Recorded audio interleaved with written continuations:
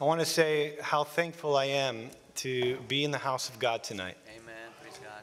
There is no better place than the house of God. Right. The Bible tells us, better is one day in your courts, O Lord, than a thousand elsewhere. Because the presence of God is better than any place we could ever be in this world. That's right. In the presence of God, there is love, there is hope, there is grace, there is mercy, there is holiness. And we get to experience one another in this place together the love of God and the hope for humanity, the greatest message this world has ever heard in Jesus Christ. Amen. I thank you, brothers and sisters, for welcoming me here. I want to say a special thank you from the bottom of my heart to Pastor Antemia, this church, First Romanian, all the senior elders and the pastors and the leaders. Um, we send our greetings from California. I thank you so much that you've allowed us to come here tonight. I thank you so much for the youth of your church for serving and sacrificing your time this weekend to preach the gospel, to share the love of God with one another, to encourage one another in these days. I want to thank so many people. I want to thank Cornell for reaching out and coming and being present there and helping me, and, and Marius and Brother Marius and Daniel, who I know so well from prison ministry and our time and experience ministering together uh, with our brothers here, with Emmy and others. Tonight, I have a message for you guys to try to encourage you in the times that we live in. I come to you with a message of good news. In a world surrounded with evil and uncertainty, I bring you not an old message, but a message that's renewed because we need to hear it again. And over and over, we need to hear it again because it's the greatest message known to mankind. It's the message of Jesus Christ. It's the gospel that Paul the Apostle says, I am not ashamed of Amen. the gospel of Jesus Christ Amen. because it is the power to save. Amen. Glory to Jesus. It is the power to save. Amen. In our day and age, we want quick solutions to everything. When everything has been limited to a quick five second soundbite, a TikTok video, an Instagram reel, we want quick solutions to all of our life's problems. I tell you, God does work and He does change people's lives. He doesn't always work according to our time, but our Heavenly Father is at work in this world. Amen. I did, in fact, well, I had an opportunity to see how God is changing people's lives all around us because they are listening to the gospel message. They're listening to the Word of God. And the Word of God has the power to transform the worst of sinners, the most wicked heart, to turn them to God. Praise God. Hallelujah. That's why Paul the Apostle proclaims, I am not ashamed of the gospel Hallelujah. because it is the power of God to save. Amen. And we have this gospel message. The world does not have what we have. You will not find what we have here in our churches out there. There is no institution out in the world like the church of Jesus Christ. I look at you and I know it's a sin, but I envy you and I'm jealous of this church because of how beautiful you all sing songs to the Lord. Glory to Jesus. You sing songs that we can all sing to. You sing these beautiful chorus songs, lifting up the name of God, praising God. I see in this church families sitting together, Hallelujah. fathers and sons. I see people of every generation, which is the way the church of Jesus Christ should be. Amen. Glory to King Jesus. And I look out at the elders in this church who support all of us in prayer in every means possible so that we too can carry on the work of Jesus Christ in our generation. And I'm so thankful for this church. May God continue to bless First Romanian and the pastors and the families of this church because you do the work of God. I tell you the truth this world knows nothing of God. They become further and further separated from God. And man, in his folly, has thought that he can outwit God. He has always thought in his intelligence and his uh, wor- worldly wisdom, if you will, in his knowledge, in his information. He believes he can escape the wrath and the judgment of God. He thinks he could find deliverance in himself. But, brothers and sisters, if one thing we've learned in 2020, the year of our Lord, that we haven't learned in the thousands of years of human history, if we haven't learned, is this there is no greater knowledge than the knowledge of Jesus Christ. Hallelujah. The knowledge of mankind is limited. It's not there in the higher systems of education, and I know because I've been there. They don't have the answers to life and death and what comes after. They don't. All man knows how to do is talk. And all of their information, all of their knowledge, all of their statistics, all of their combined information in the information age we live cannot save them from the mighty hand of God and the judgment of God. Look at how God has made foolish the wisdom of this world. The reports of the real statistics coming out of this so-called pandemic doesn't even fit their own definition of what a pandemic is.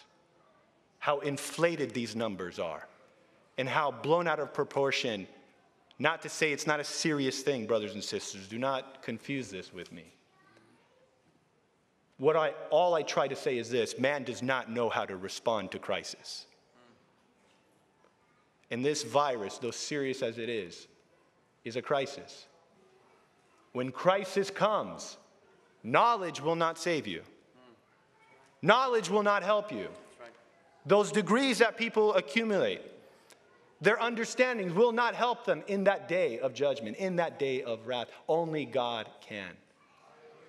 There was a teacher who came to Jesus one day, and this teacher came to Jesus, a ruler of the Jews, a very important person, very knowledgeable. And in those days, to be a ruler of the Jews in the synagogues, to be a ruler of the Pharisees in those regions, you had to be well trained in the scriptures. You had to know your stuff. You had to be among the best of the best. And this man at night came to Jesus one night. His name was Nicodemus.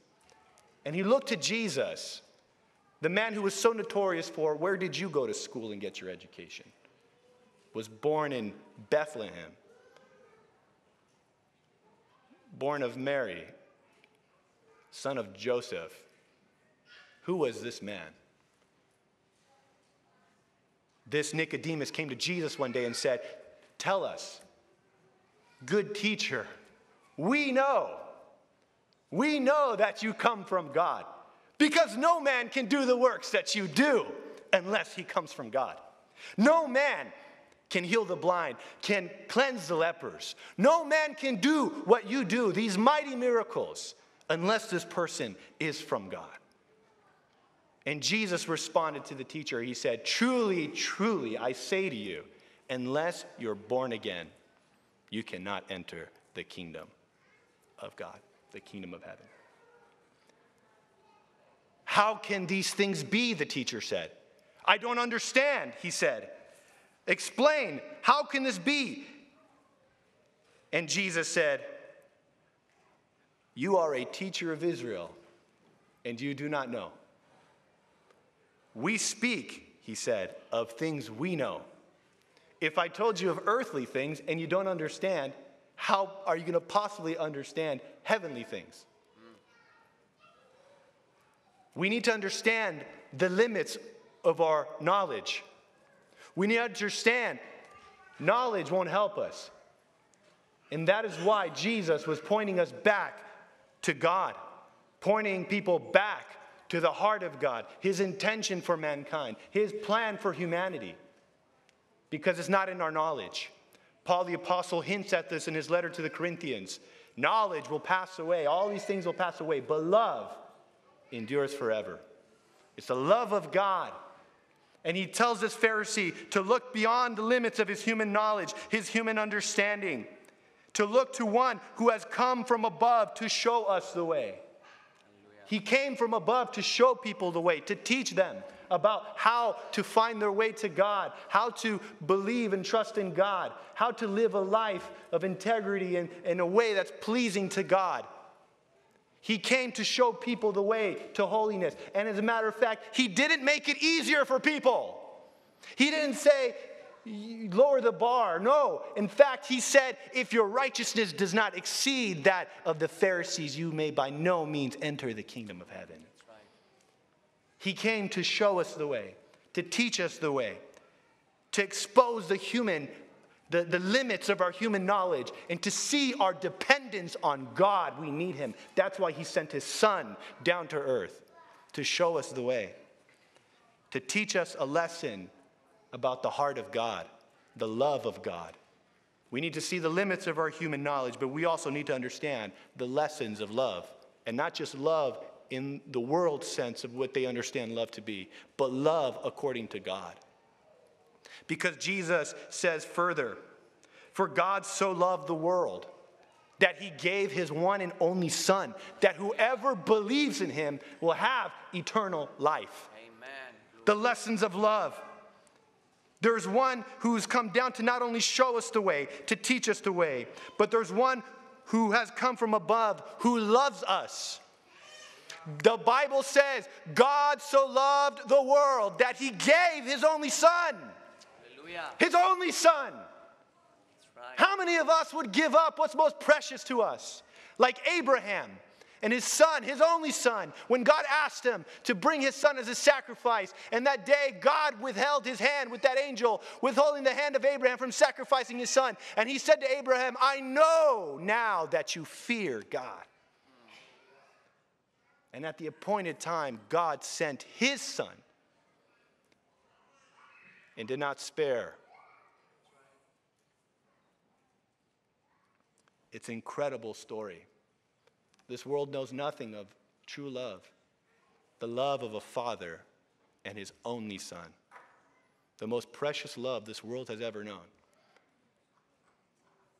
It's the love Paul the Apostle talks about in 1 Corinthians chapter 13.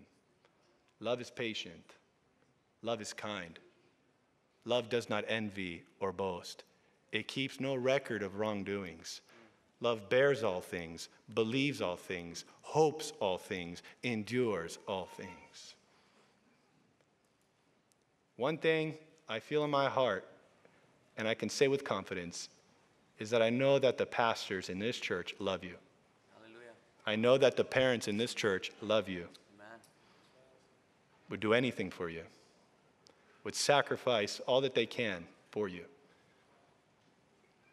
It's the love of God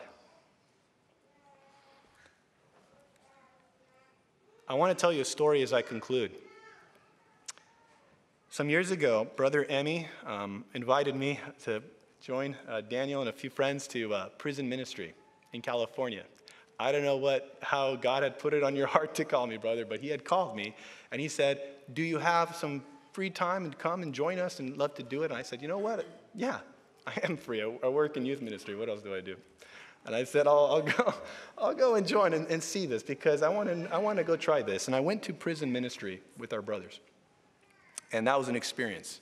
So if you have an opportunity, if you ever go, I encourage you, for those of you that are courageous enough, to go. It was through that experience that I, I learned by dealing with some of the most hardened criminals and some of these people that deep down inside, they're still human beings. Yes, even the most hardened criminal has a heart. And it was an interesting experience, and I thank Emmy um, so much for inviting me because some time later, um, a position had opened up for me to work at a prison, and a women's prison of all places. I don't know, God must have a sense of humor. But He sent me there for some reason. And I can't explain how I uh, received this position, but I'm working there at the institution here at, uh, down in California at a women's institution. And there was a lady, and I'll, I'll say this there was one lady there who was a hardened inmate who had become a devout Muslim. Very devout.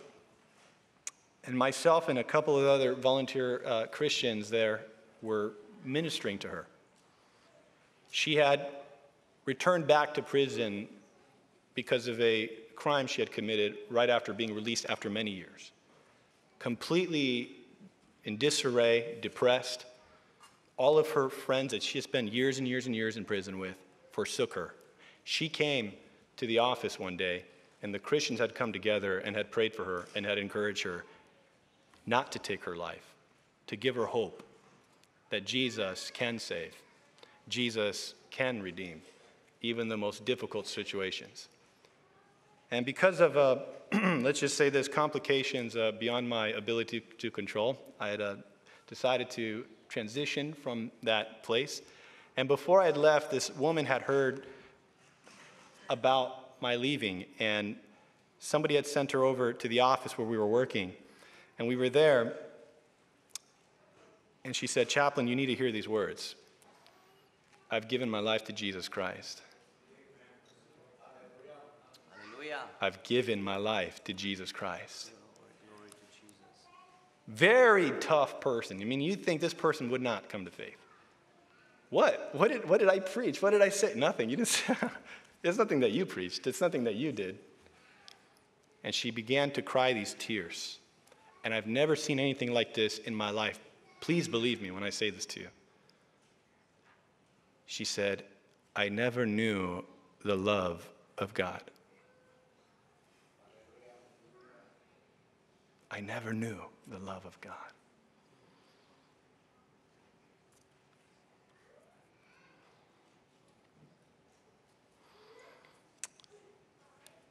It was the last day I was there.